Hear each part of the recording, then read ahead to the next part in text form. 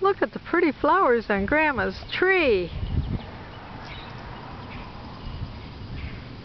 Look at down here. It looks like some critter might have been around the tree. You can see how some of the the brick stone is out of there. And look at how the flowers from the tree now are on the ground.